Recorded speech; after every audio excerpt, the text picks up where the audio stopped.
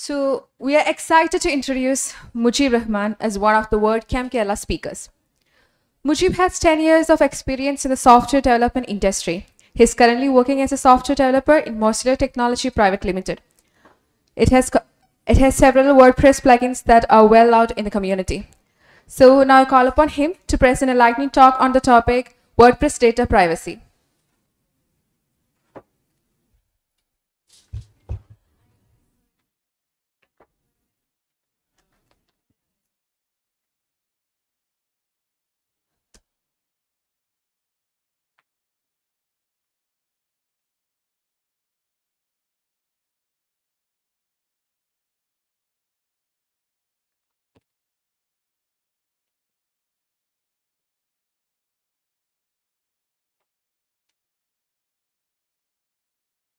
Hi all. I'm Mujib Rahman, working in WordPress ecosystem a decade. Currently working as senior developer and product owner at Mozilor Technologies. Today, I am here to share my thoughts and views on data privacy in WordPress. So let me begin with the obvious first. What is privacy? Well, let me put it this way. We all engage in different activities in our life, sometimes alone, sometimes with friends, or with any random person. We will enjoy the moment with a peace of mind that no one is there to disturb our time. The state of mind in which we believe we are not observed by anyone in the moment we don't want to be can simply say as privacy. Now to the point. Privacy in WordPress. The growth of the internet has fundamentally changed the way we interact with each other and access information. From social media to e-commerce, internet, internet has created new opportunity for communication, interactions, and transactions. However, it has also created new shades of risk on our privacy, as our personal information are now more accessible than ever before. It has raised concern among users that about their user privacy. At the same time, people are becoming more aware about their right to privacy and taking proactive steps to reduce their digital footprints around the online space. This is a clear call to have discussions and make necessary action to protect users' data privacy. For quite some time, the open source web technologies have been not only focusing on making the resources accessible for free to everyone, but also focusing on user privacy. As an open source eco- as an open source content management system that powers 40% of the website on the internet, WordPress has a key role to ensure user data privacy. Many WordPress websites collects and store user data in the form of contact form, user registration, online purchases, etc. It's the responsibility of the website owner to obtain a prior consent before collecting and storing the user data. Also, the site owner should make sure that the collected data is stored and secure. That means adding a privacy policy page or cookie consent notice won't be enough on your part. Privacy laws has become more stringent and even a slight negligence can cost you millions of euros. I hope you know why I mentioned millions of euros and not millions of dollars. If not, let me introduce you the GDPR. The General Data Protection Regulation introduced by the European Union and effective on May 2018 and changed the course of discussion around consumer privacy. Ever since the GDPR, sorry, ever since the European Union has introduced the GDPR, it has been a nightmare for the big corporates like Facebook, Amazon, Google. You might have heard that millions of euros of fines were issued to these corporates for violating the GDPR guidelines. So you may be thinking that it will affect only the big corporates.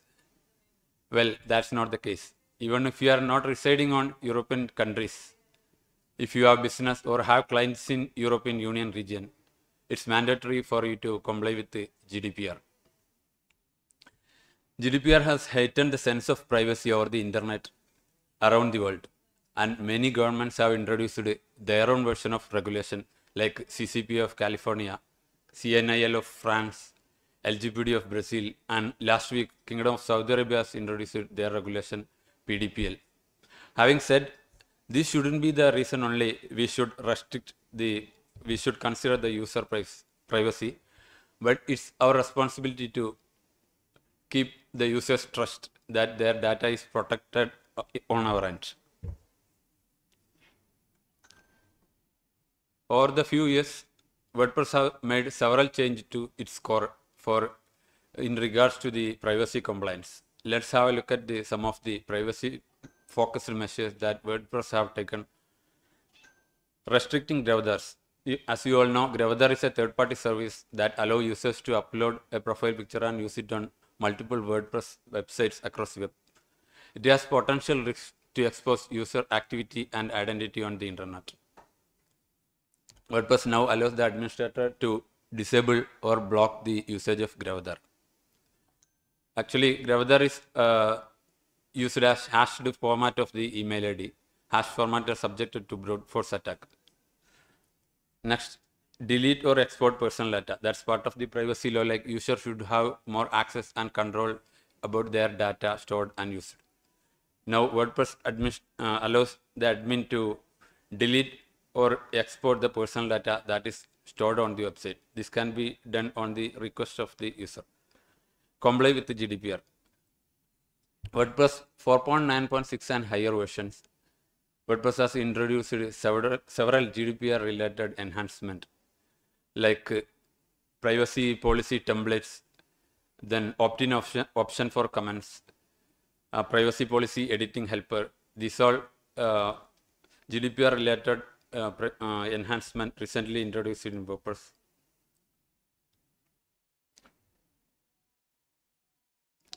As WordPress developers, what we can do? Privacy first, personalization comes later.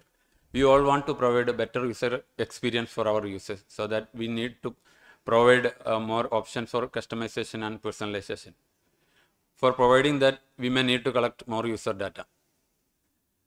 Uh, it increases the it increases the sense of security as well. Whenever there is a decision to be made between user privacy and personalization, it's recommended to prioritize user privacy over personalization. User user matter means whenever we develop a plugin or release a new update for a plugin with more features, we should not only consider our users, but as well as their users they might be residing in any countries where, with strict privacy laws. Privacy by design. Usually privacies are applied retrospectively, means toward the end. In privacy by design, the uh, privacy is applied from the early stage itself, means on design stage itself through development and to the deployment. That will help the developers to uh, have a clearer picture on the what data need to be collected what website admins can do. Minimize personal data means collect only necessary data that we need to function. Ensure data accuracy. Make sure the data collected is uh, true and up to date. Limit the purpose. Use the data collected only for what intention it's collected for. Limit data retention. Do not uh, store data more than it is needed or do not share with any other. Uh, secure user data. Make sure that you have taken necessary measures to secure the data from unauthorized access, show privacy policy and cookie notices. Mm. Display, sorry, being transparent about the, the data you are collected and explain it in your privacy and policy page and cookie notice. Obtain prior consent before collecting any user data. Grant user right. Uh, give the user the access to uh, control and delete their data. Uh, be accountable be responsible for their data and if there is any security breach inform the users handle sensitive information carefully provide a more additional safety layer for uh, sensitive information like uh, financial transaction card information etc and legal compliance uh, keep up to date with the privacy laws and uh, it's recommended that this safeguarding of privacy is not a one time task before installing a plugin or adding a theme to WordPress, an admin should be aware of the following. What WordPress core privacy tool does the plugin use or not use? What data it collects and how it is used, what are the effects of the plugin or theme on your website. Uh, on conclusion, privacy in WordPress is a community effort. Developers should be aware of the WordPress core changes. Plugins and themes should keep up with the latest security standards and regulations. Thank you.